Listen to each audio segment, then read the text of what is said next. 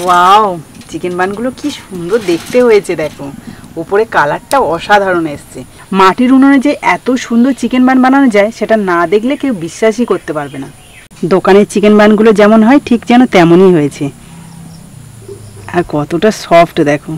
আর ভেতরটা কত সুন্দর বেক হয়েছে, আর পুরে ভরা। নমস্কার বন্ধুরা, আমি সাবিত্রী।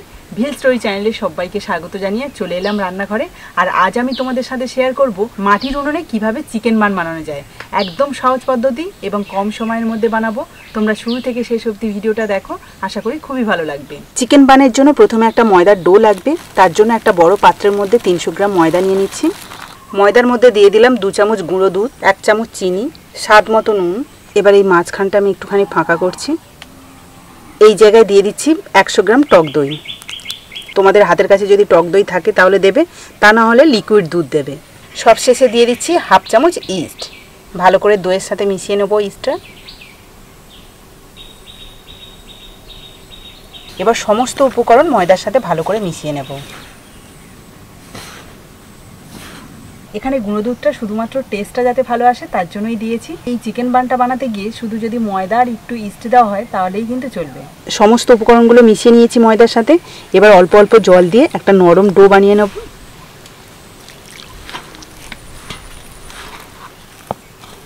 নরম করে মেখে নিলাম। এবার এর মধ্যে দিয়ে দেবো দু চামচ মতো সাদা তেল। তেলটাও ভালো করে মেখে নেব।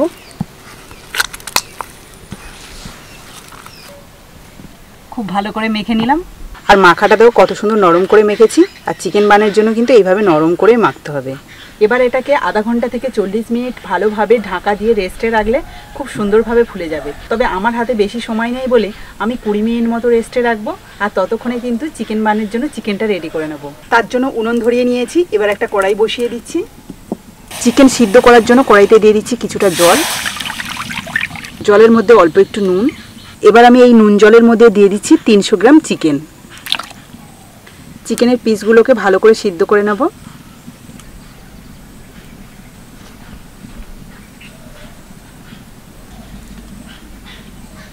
বেশ কিছুক্ষণ মাংসগুলো সিদ্ধ করে নিয়েছি। ভালোভাবে কিন্তু সিদ্ধ হয়ে গেছে। এবার আমি একটা পাত্রে তুলে রাখব। মাংস সিদ্ধের এই জলটা কিন্তু আমি ফেলব না। এটাকে আমি স্যুপ হিসাবে ব্যবহার করে নেব। মাংসের টুকরোগুলো হালকা ঠান্ডা হয়ে গেছে। এগুলো আমি এইভাবে ছাড়িয়ে নেব। এই যে হাত দিয়ে হালকা করে ছাড়িয়ে নিলেই কিন্তু ভালোভাবে ছেড়ে যাবে। আর তোমাদের যদি ছাড়াতে অসুবিধা হয়, তখন কিন্তু তোমরা কাঁটা চামচ দিয়েও ছাড়িয়ে নিতে পারো। মাংস যদি ভালোভাবে সিদ্ধ হয়ে যায় না, তাহলে কিন্তু হালকা হাতে এইভাবে চাপ দিলে খুব সুন্দরভাবে ছেড়ে যায়। সব মাংসের টুকরোগুলোকে একদম কুচো কুচো করে নিলাম। এবার আমি চিকেন বানের জন্য পুরটা রেডি করে নেব। তার জন্য কড়াইতে দিয়ে দিচ্ছি কিছুটা তেল, বড় সাইজের একটা পেঁয়াজ কুচি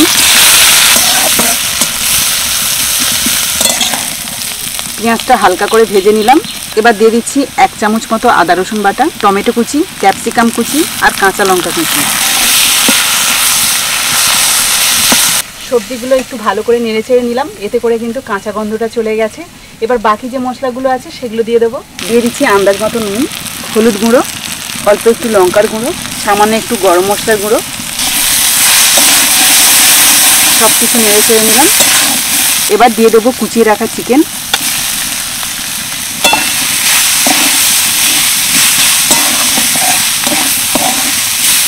বেশ কিছুক্ষণ জ্বালানি দিয়ে এটা দেখো একদম শুকনো শুকনো করে নিয়েছি। এই চিকেনের স্টাফিংয়ের মধ্যে যদি একটু ময়দা দেওয়া হয় না, একদম দোকানের মতো টেস্ট আসে। ময়দা দিয়ে একটু ভালো করে নেড়ে চেড়ে নিয়েছি। এবার সবশেষে একটু ধনে পাতা দিয়ে নামিয়ে নেব।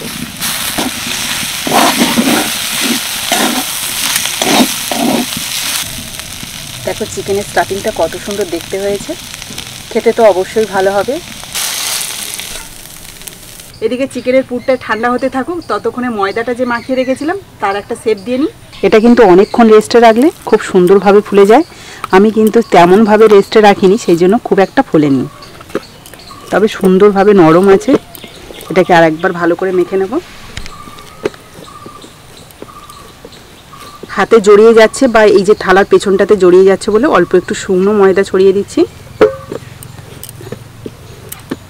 ভালো করে মেখে নিয়ে এই যে লম্বা রোল করে নিচ্ছি। এখান থেকে আমি কয়েকটা লেচি কেটে নেব।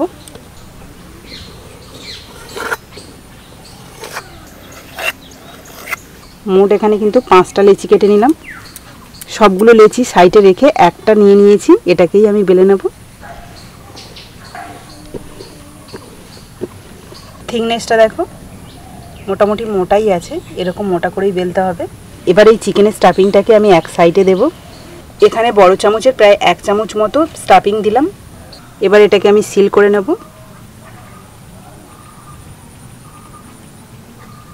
বেশ অনেকটা পরিমাণেই কিন্তু আমি স্টাফিংটা দিলাম।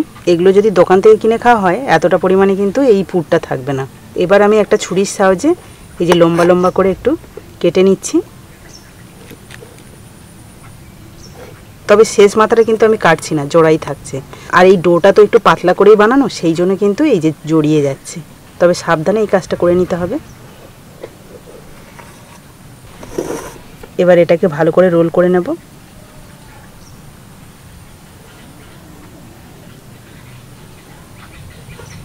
একটা চিকেন বানের খুব সুন্দরভাবে শেপ দিয়ে নিলাম। এবার এটাকে একটা পাত্রে তুলে রাখব। যে পাত্রে আমি স্টিমে দেবো, সেই পাত্রের মধ্যে কিন্তু একটু তেল ব্রাশ করে নিয়েছি। এবার একটা একটা এইভাবে বসিয়ে দেব। তিনটে রেডি করে নিলাম। এখানে যেহেতু ছোট পাত্র, সেই জন্য কিন্তু তিনটের বেশি ধরবে না। এগুলো কিন্তু বেক করতে দিলে খুব সুন্দরভাবে ফুলে যাবে। সেই জন্য জায়গাটা একটু রাখতে হচ্ছে। বেক করতে দেওয়ার আগে এখানে আমি একটু তেল আর ডিমের কুসুম নিয়ে নিয়েছি। এটাই এখন ব্রাশের সাহায্যে এইভাবে লাগিয়ে নেব।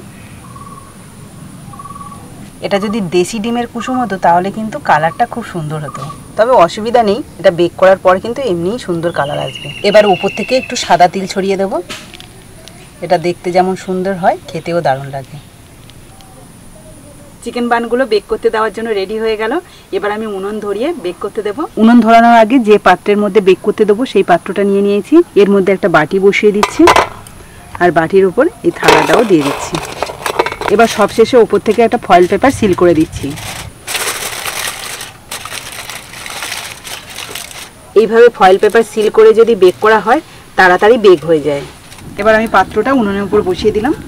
ফয়েল পেপারের ওপরে একটা ভারী পাত্র চাপিয়ে দিচ্ছি, এতে করে আরও তাড়াতাড়ি বেক হয়ে যাবে। প্রায় কুড়ি মিনিট ধরে ভালোভাবে জ্বালানি দিয়েছি। এবার খুলে দেখব কেমন হয়েছে। ওপরের চাটুটা আগে তুলে নিই। এবার ফয়েল পেপারটাকে আস্তে আস্তে ছাড়িয়ে নেব। ওয়াও উপরে কালারটা যেহেতু সুন্দর হয়েছে মানে বেগও হয়ে গেছে আশা করছি ভালোভাবে। তো এবার আমি এই তিনটে চিকেন বান তুলে নেব আর বাকি যে দুটো আছে সেগুলোকে বেক করতে দেব। বেশ কিছুক্ষণ নামিয়ে রেখেছিলাম মোটামুটি ঠান্ডা হয়ে গেছে। এবার একটা পাত্রে নিয়ে নেব। চিকেন বানগুলো কত সুন্দর নরম হয়েছে দেখো। একদম স্পঞ্জের মতো আর কতটা ফুলেছে। আমি কিন্তু বেশিক্ষণ টাইম দিয়ে রেস্টে রাখিনি। তাও এত সুন্দর একটা চিকেন বান হয়েছে। আর এই দেখো, পেছন দিকটাও কত সুন্দর বেগ হয়েছে না? একদম সহজ পদ্ধতিতে চিকেন বান বানিয়ে দেখালাম। আশা করি তোমরাও খুব সহজে বানিয়ে নিতে পারবে। চলো, তোমাদের এবার একটা চিকেন বান কেটে দেখাই, ভেতরটা কেমন হয়েছে। ওপরটা তো একদম স্পঞ্জের মতো, বুঝতেই পারছ? দোকানের চিকেন বানগুলো যেমন হয়, ঠিক যেন তেমনই হয়েছে। আর কতটা সফট দেখো। আর ভেতরটা কত সুন্দর বেক হয়েছে, আর পুরে ভরা।